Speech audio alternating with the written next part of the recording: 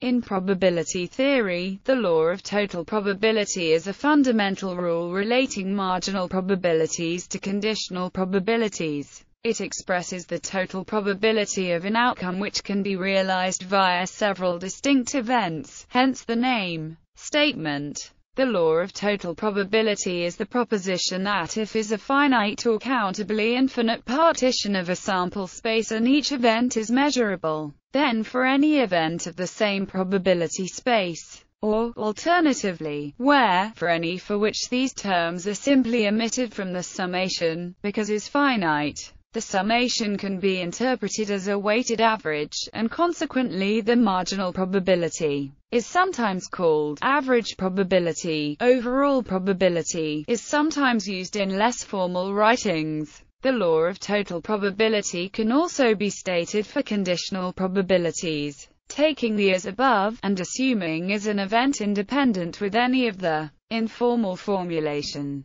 The above mathematical statement might be interpreted as follows. Given an outcome, with known conditional probabilities given any of the events, each with a known probability itself, what is the total probability that will happen? The answer to this question is given by example. Suppose that two factories supply light bulbs to the market. Factory X's bulbs work for over 5,000 hours in 99% of cases, whereas Factory Y's bulbs work for over 5,000 hours in 95% of cases. It is known that Factory X supplies 60% of the total bulbs available. What is the chance that a purchased bulb will work for longer than 5,000 hours? Applying the law of total probability, we have, where is the probability that the purchased bulb was manufactured by Factory X? Is the probability that the purchased bulb was manufactured by factory Y, is the probability that a bulb manufactured by X will work for over 5,000 hours,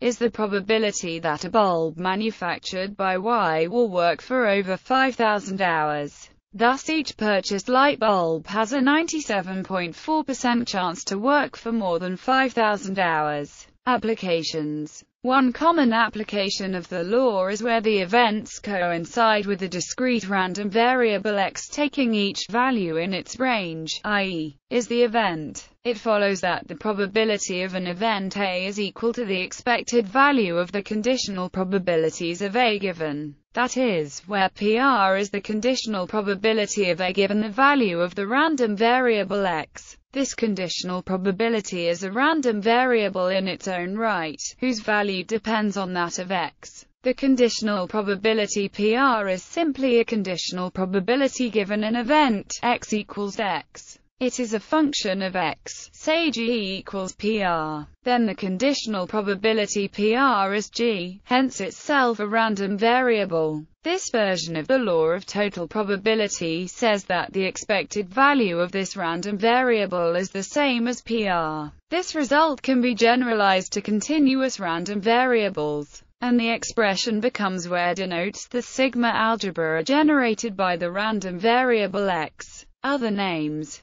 the term law of total probability is sometimes taken to mean the law of alternatives, which is a special case of the law of total probability applying to discrete random variables. One author even uses the terminology continuous law of alternatives in the continuous case. This result is given by Grimmett and Welsh as the partition theorem, a name that they also give to the related law of total expectation.